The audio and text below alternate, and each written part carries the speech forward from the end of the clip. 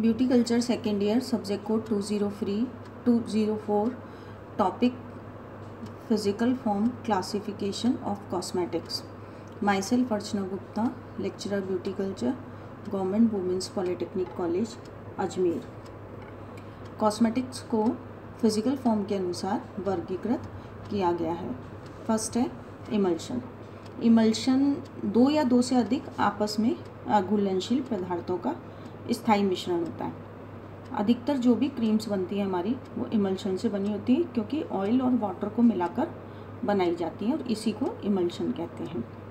Second है powder powder form में जो कॉस्मेटिक्स आते हैं, वो होते हैं फेस पाउडर और टेलकम पाउडर पाउडर बनाते समय कुछ ऐसे पदार्थों को मिलाया जाता है, जिनकी सोखने की क्षमता अधिक हो, क्योंकि पाउडर में हम परफ्यूम भी मिलाते हैं।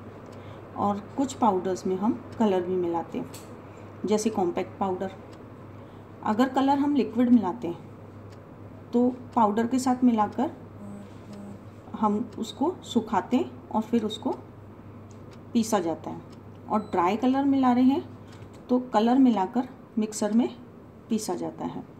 नेक्स्ट है हमारा स्टिक फॉर्म स्टिक फॉर्म में हम लिपस्टिक और डीओ स्टिक्स और जो भी स्टिक फॉर्म में कॉस्मेटिक बनता है, वो सब स्टिक फॉर्म में आते हैं। स्टिक फॉर्म में कॉस्मेटिक बनाते समय इस बात का ध्यान रखा जाता है कि उसका मेल्टिंग पॉइंट इतना हाई होना चाहिए कि वह गर्मी के मौसम में पिघले नहीं। नेक्स्ट है हमारा केक केक फॉर्म में कॉस्मेटिक अगर हम बना रहे हैं तो इसमें पाउडर को मिला कर के उसमें कलर मिलाते हैं। और फिर उसको कंप्रेस कर, किया जाता है उस कॉस्मेटिक को। जैसे आई शेडो किट आते हैं ब्लशर किट आते हैं तो कंप्रेस करके उनको दबा करके फिर बनाया जाता है। कुछ फाउंडेशन जो होते हैं, वो भी केक फॉर्म में भी बनाए जाते हैं और लिक्विड फॉर्म में भी बनाए जाते हैं। नेक्स्ट है ऑयल ऑयल में हेयर ऑयल और वेबसाइट जेलीज आती हैं। तो ऑयल में बनाते समय इस बात का ध्यान रखा जाता है कि वो ऑयल गाढ़ा नहीं हो लगाने में आसान हो और चिपचिपा भी नहीं हो। नेक्स्ट है सस्पेंशंस सस्पेंशन फॉर्म में पाउडर पदार्थों को पानी में ग्लिसरॉल अल्कोहल और ग्लाइकोल को घोलकर सॉल्यूशंस बनाए जाते हैं। सस्पेंशन में लिक्विड पाउडर्स होते हैं कैलमाइन लोशंस होते हैं। पेस्ट में toothpaste clay paste facial mask इस तरह के कॉस्मेटिक्स आते हैं। और इनको बनाते समय ये ध्यान रखा जाता है कि ये बहे नहीं और ना ज़्यादा हार्ड हो और ना ज़्यादा इतने लिक्विड हों कि वो बहने लग जाए।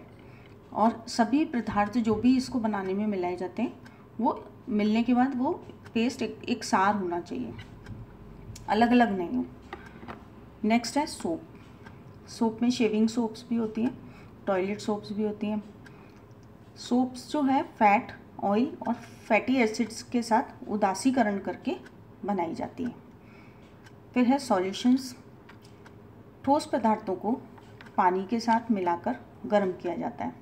जो भी हम इसको बनाने में सॉल्यूशंस बनाते हैं, कोई भी तो उसमें अगर हम कोई हार्ड चीज़ या हार्ड केमिकल मिला रहे हैं तो उसको पानी के साथ मिलाकर पहले गर्म करते हैं, ताकि वह अच्छी तरह से घुल जाए। और घुलने के बाद उसमें पदार्थ और पानी अलग अलग ना दिखाई दे। उसके बाद है म्यूसिलेसिस। म्यूसिलेसिस का प्रयोग सॉल्यूशन को गाढ़ा बनाने के लिए किया जाता है।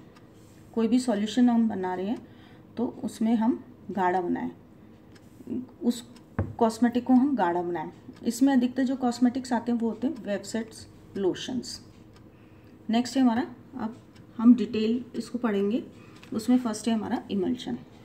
दो या दो से अधिक आपस में अघुलनशील पदार्थों का स्थायी मिश्रण होता है। अधिकतर क्रीम्स इमल्शन क्रीम होती हैं। इनमें बहुत कम मात्रा में तीसरा पदार्थ काम में लिया जाता है। तीसरा पदार्थ जो होता है, वो होता है म्यूसिलेजिस इमल्शन को बनाने में और उसको स्थायित्वता प्रदान करने में म्यूसिलेजिस महत्वपूर्ण भूमिका निभाता है। इमल्शन में water phase and oil phase होता है और इमल्शन बनाने के लिए दोनों के, दोनों यानी ऑयल फेस और वाटर फेस के अंतर्मुखी तनाव को कम करना पड़ता है, ताकि एक लिक्विड के कण दूसरे लिक्विड में अच्छी तरह से समा जाए। यदि इसमें ऑयल कम और वाटर ज़्यादा मात्रा में है तो यह ऑयल इन वाटर इमल्शन कहलाता है। और यदि वाटर कम और ऑयल ज़्यादा है तो यह वाटर इन ऑयल इमल्शन कहलाएगा। जैसे मॉइस्चराइज़र इमल्सीफायर के रूप में। बोरेक्स गम ट्राइथलोनोमाइन जिलेटिन आदि काम में लिए जाते हैं। नेक्स्ट है हमारा पाउडर ये बनाना तो आसान है और इसे बनाते समय लिक्विड पदार्थों को, उन पाउडर पदार्थों में मिलाया जाता है जिनकी सोखने की क्षमता ज़्यादा है। कलर को पानी में मिलाया जाता है और फिर सुखाकर पीसा जाता है। दूसरी विधि में पाउडर और कलर को, अगर कलर हमारा ड्राई है तो पाउडर को और कलर को मिक्सर में पीसा जाता है और फिर मिलाया जाता है। सारे पदार्थों में, थोड़े से पाउडर में, पहले हम कलर मिलाएँगे और उसको फिर मिक्सर में पीसेंगे और फिर हम उसको सारे पदार्थों में मिलाएँगे। इस विधि में ध्यान रखा जाता है कि कलर पूरे मिश्रण में समान रूप से मिल जाए। किसी भी प्रकार के कण ना रह जाए। कोई कलर के कण उसमें ना रह जाए। स्टिक का मेल्टिंग पॉइंट नेक्स्ट हमारा स्टिक है, इसका मेल्टिंग पॉइंट इतना ज़्यादा होना चाहिए कि गर्मी के मौसम में भी पिघले नहीं। इसको बनाने के लिए रेजिन बीज वैक्स आदि पदार्थों को काम में लिया जाता है। वैक्स की पूरी जानकारी होना आवश्यक होता है और स्टिक बनाने से पहले लो मीडियम हाई का कॉम्बिनेशन बनाया जाता है, जो कि शारीरिक ताप पे आसानी से इस्तेमाल किया जा सके। वैक्स के साथ हम जब भी कोई चीज़ स्टिक फॉर्म में बनाते हैं तो वैक्स के साथ हमको उसमें लुब्रिकेंट्स यानी कि चिकनाई देने वाले पदार्थ भी डाले जाते हैं, ताकि लिप स्टिक फैलने वाली स्टिक की जो फैलने वाली क्षमता है, वो आसानी से लग जाए स्किन के ऊपर और उसको, उसकी क्षमता को बनाए रखे या बढ़ाई जा सके उसकी फैलने की क्षमता को। नेक्स्ट है cake eye shadow compact face powder ये केक फॉर्म के होते हैं। इसमें ब्लशर्स भी आते हैं। और इनको दबाकर बनाया जाता है। केक बनाने के दो तरीके हैं।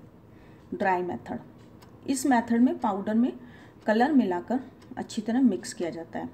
अब इस मिक्सचर को परफ्यूम और लिक्विड पेट्रोलेटम के साथ अच्छी तरह रब किया जाता है और पूरे मटेरियल को माइलिंग इक्विपमेंट में से तब तक पास किया जाता है जब तक कि प्रोडक्ट पूरी तरह से मिल ना जाए। इसके बाद गम ट्रेगाकेंथ के साथ मिलाया जाता है। उसके बाद संपूर्ण पदार्थों को कंप्रेस्ड किया जाता है, यानी कि दबाया जाता है। इसी का नेक्स्ट मेथड है हमारा। पहला मेथड था ड्राई मेथड दूसरा मेथड है हमारा वेट मेथड इसमें पाउडर व कलर व वाटर को मिलाकर सेमी लिक्विड पेस्ट बनाया जाता है। इस पेस्ट को माइलिंग प्रोसेस में पास किया जाता है, फिर ड्राइंग ट्रेज में एक समान लेयर में फैला दिया जाता है। इस ट्रे को 130 डिग्री ड्रायर में रखा, रख दिया जाता है। फिर ये सूख जाता है। फिर इसे निकाल कर इसमें परफ्यूम मिक्स किया जाता है, फिर इसे केक फॉर्म में कंप्रेस्ड कर दिया जाता है। नेक्स्ट है हमारा म्यूसिलेजिस कॉस्मेटिक का यह प्रकार प्राय वेव सेट लोशंस के लिए होता है। इसके अलावा इसका प्रयोग सॉल्यूशन को गाढ़ा करने और वैनिशिंग क्रीम को फूला हुआ बनाने के लिए किया जाता है। इसको बनाने में तीन मुख्य समस्याएँ आती हैं। सूखे हुए गम या सीड्स में से पदार्थों को निकाला जाता है। दूसरा इनका शुद्धिकरण किया जाता है, तीसरा इनका संरक्षण किया जाता है। इसको निकालने के लिए ठंडा या गर्म पानी उपयोग में लिया जाता है। गर्म पानी का प्रयोग करते समय इन बातों का ध्यान रखना चाहिए कि पानी बहुत अधिक गर्म ना हो, क्योंकि अधिक गर्म पर वह अपने गुण खो देता है।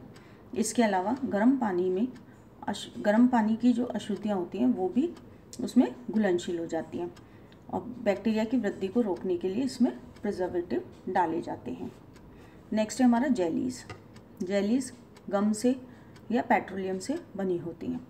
पेट्रोलियम से बनी जेली नमी रहित होती हैं। ये पारदर्शी होने के कारण जेली कहलाती हैं।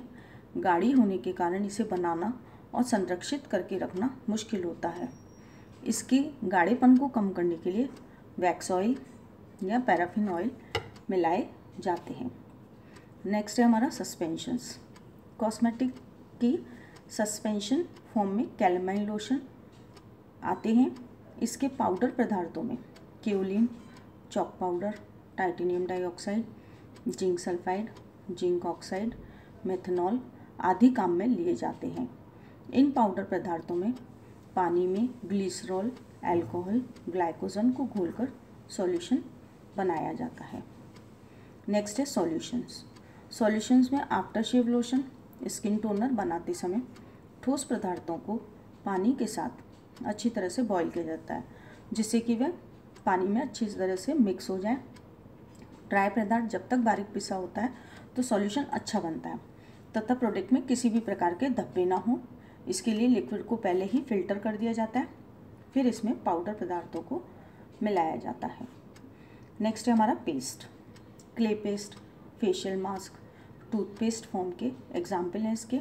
और पेस्ट बनाते समय हमें इन बातों का ध्यान रखना चाहिए कि आवश्यक बहाव ना हो पेस्ट ज़्यादा कठोर ना हो और पेस्ट के सभी पदार्थ एक साथ हों मिक्स हों आपस में अलग अलग ना दिखें। पेस्ट बनाते समय सबसे बड़ी समस्या उसके गाढ़ेपन को निर्धारित करने में होती है। पेस्ट के फॉर्मूला में ड्राई पदार्थों की मात्रा लगभग 30 परसेंट तक होनी चाहिए। जैसे ड्राई पदार्थों की मात्रा बढ़ती जाती है, वैसे वैसे पेस्ट का गाढ़ापन भी बढ़ता जाता है। और एक पॉइंट पर आकर पेस्ट का बहाव ख़त्म हो जाता है और वह कठोर हो जाता है।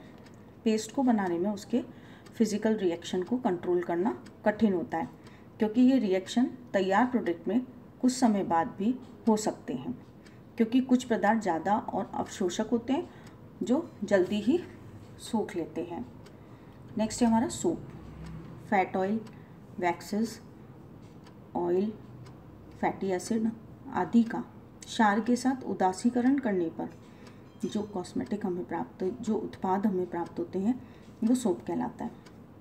कॉस्मेटिक में प्राय जो सोप काम में लिए जाते हैं, वह फैटी एसिड्स के सोडियम और पोटेशियम के लवण होते हैं.